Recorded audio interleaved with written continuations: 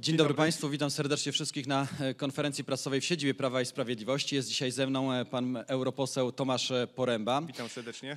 Witamy. Szanowni Państwo, spotykamy się dzisiaj w związku z mm, pewnymi naszymi działaniami, które podjęliśmy jako Prawo i Sprawiedliwość kilka tygodni temu. 28 dni temu zadaliśmy e, liderowi opozycji, liderowi mm, Platformy Obywatelskiej Donaldowi Tuskowi kilka, dokładnie 10 bardzo ważnych pytań w sprawach związanych z bezpieczeństwem energetycznym Polski, z bezpieczeństwem militarnym naszego kraju. Niestety od 28 dni Donald Tusk unika merytorycz- merytorycznej rozmowy na ten temat, unika odniesienia się do tych e, pytań. Dlatego dzisiaj postanowiliśmy spotkać się z Państwem po raz drugi i to właśnie w tej sprawie. Drodzy Państwo, rzeczywiście te kilkanaście dni upłynęło. Ze strony Platformy Obywatelskiej, pana przewodniczącego Tuska nie ma żadnych odpowiedzi, a one w naszym przekonaniu, biorąc pod uwagę również stawkę wyborów, które przed nami, no mają kluczowe znaczenie z punktu widzenia właśnie rozwoju Polski gospodarczego, e, militarnego, energetycznego, a ten rozwój i ta polityka, która była realizowana przez Donalda Tuska i Platformę Obywatelską w latach 2007-2015 w naszym przekonaniu była skrajnie radykalnie właśnie e, prorosyjska, często wbrew strategicznym interesom naszego kraju. Dlatego te pytania, które są za mną, o to dlaczego Donald Tusk zrezygnował e, i Platforma z tarczy antyrakietowej, dlaczego chciał sprzedać e, Morzejki, dlaczego chciał sprzedać Lotos, dlaczego likwidowano za czasów Platformy Obywatelskiej i rządów Donalda Tuska bazy wojskowe, zwłaszcza na tej wschodniej flance Polski, są nadal aktualne. I my tak tutaj sztabowo, ale też patrząc na, na, y, z perspektywy również różnych komentarzy, e, które się pojawiały w mediach na ten temat, y, spodziewaliśmy się, że Donald Tusk nie będzie chciał na te pytania odpowiadać. Również dlatego, że te pytania de facto dość mocno i odpowiedzi na nie są obecne w przestrzeni publicznej, są obecne w różnych wypowiedziach Donalda Tuska z tych właśnie czasów, z czasów 2007-2015, gdzie Donald Tusk e, no, de facto na te pytania e, odpowiada. Dlatego, aby e, już nie e, domagać się od Donalda Tuska odpowiedzi na te pytania, bo wiemy, że, że one się pewnie nie pojawią, uznaliśmy, że my te pytania, Państwu, te odpowiedzi na te pytania zaprezentujemy, pokażemy te odpowiedzi i, w tym momencie chciałbym prosić właśnie o zaprezentowanie naszego spotu, który będziemy chcieli z Państwem się podzielić. Pytania do Tuska. Mamy odpowiedzi. Dlaczego zrezygnował pan z instalacji amerykańskiej tarczy antyrakietowej w latach 2008-2009? Z prezydentem Putinem dłuższy czas rozmawialiśmy o tarczy antyrakietowej. Prezydent Putin nie jest entuzjastą tego projektu.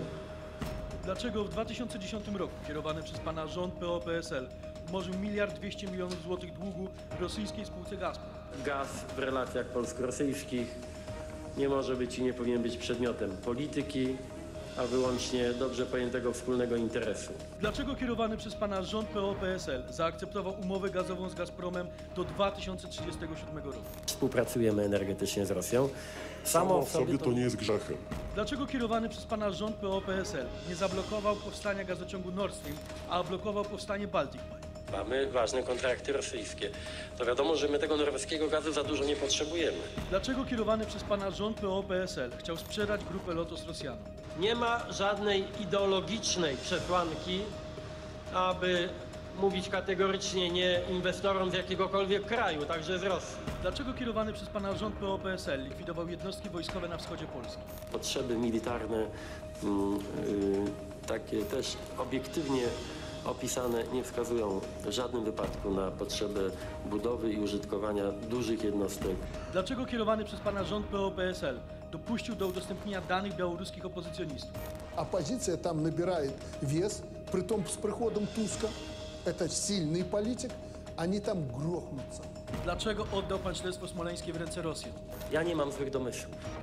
Znaczy, ja nie domyślam się czegoś e, bardzo złego, jeśli chodzi o, o stronę rosyjską. Ja w ogóle unikam domysłów i hipotez. Polacy chcą prawdy. Drodzy Państwo, to, jest, to są te odpowiedzi, e, które zaprezentowaliśmy dzisiaj e, Państwu i myślę, że każdy z nas, e, każdy Polak no, musi sobie zadać też pytanie, co by było, gdyby Donald Tusk nadal rządził? co by było, gdyby nadal rządziła Platforma Obywatelska? Gdzie byłby Lotos, gdzie byłyby Morzejki, w czyich rękach, czy nie rosyjskich? Czy byłyby, gdzie byłyby bazy? Jak wyglądałaby sytuacja bezpieczeństwa wojskowego Polski? Co byłoby z bazami? Działoby się na wschodzie naszego kraju? Jak wyglądałaby kwestia z innymi tematami tutaj, które poruszyliśmy w tym wymiarze właśnie bezpieczeństwa wojskowego, gospodarczego yy, i militarnego? Dlatego, drodzy Państwo, to są pytania, które zadaliśmy i to są odpowiedzi Donalda Tuska, które będą się za nim ciągnęły. Będziemy o nich przypominać, będziemy o nich mówić i będziemy o nich e, również bardzo głośno dyskutować w najbliższych miesiącach, ponieważ w naszym przekonaniu, gdyby nadal tutaj w Polsce był rząd Donalda Tuska, mielibyśmy olbrzymie problemy właśnie jeżeli chodzi o nasze bezpieczeństwo, czy to energetyczne, czy wojskowe. Dlaczego? Dlatego, że polityka prorosyjska, taka radykalnie prorosyjska w latach 2007-2015 no była bardzo konsekwentnie przez rząd Donalda Tuska realizowana. Bogu dzięki rządzi Prawo i Sprawiedliwość. Bogu dzięki stawiamy bardzo mocno na modernizację polskiej armii. Bogu dzięki nie likwidujemy, a wręcz będziemy i tworzymy bazy na wschodzie naszego kraju, bazy wojskowe. Bogu dzięki e, robimy wszystko, żeby być niezależnymi energetycznie. Już jesteśmy niezależni energetycznie od Rosji.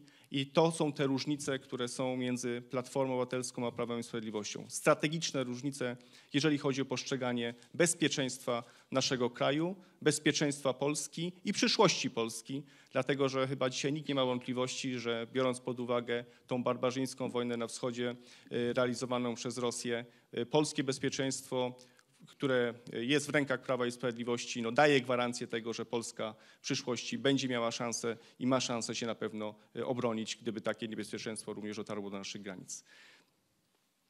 Szanowni Państwo, te wypowiedzi Donalda Tuska są sprzed jakiegoś czasu, ale wychodzi na to, że Donald Tusk, unikając odpowiedzi na nasze zadane kilka czy kilkadziesiąt dni temu e, pytania, unikając tych odpowiedzi, e, pokazał tym samym, iż te jego wypowiedzi sprzed e, jakiegoś czasu są wciąż aktualne i być może to jest dalej ten sam kierunek polityczny, który Platforma Obywatelska chce prowadzić, kierunek na wschód, kierunek ku Rosji, jeżeli chodzi o współpracę e, w zakresie e, energii, w zakresie energetyki, podporządkowywania e, nas Rosji, jeżeli chodzi chociażby o uniezależnianie nas właśnie od wpływów rosyjskich tutaj w kraju. Wszyscy widzieliśmy, jak to wyglądało, jak wyglądał demontaż polskiej armii wtedy, kiedy rządziła Platforma Obywatelska. Najwyraźniej nic w, tych, w tej sprawie się nie zmieniło i dla- dlatego Donald Tusk nie zabiera dzisiaj głosu, nie odpowiada na nasze pytania. My przytoczyliśmy Państwu te odpowiedzi mm, e, wyciągnięte tak naprawdę sprzed jakiegoś czasu po to, żeby pokazać, jakie jest stanowisko Platformy Obywatelskiej i pewnie ono jest wciąż aktualne.